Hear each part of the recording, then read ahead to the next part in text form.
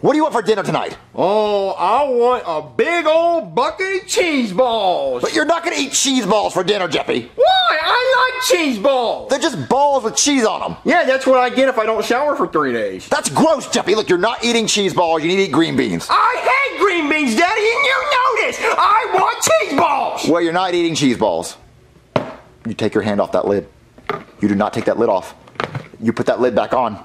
You do not grab. Do you put, you put, you put that you put that cheese ball back. You put that cheese ball back. You don't don't you put that cheese ball in your mouth. Mm. I-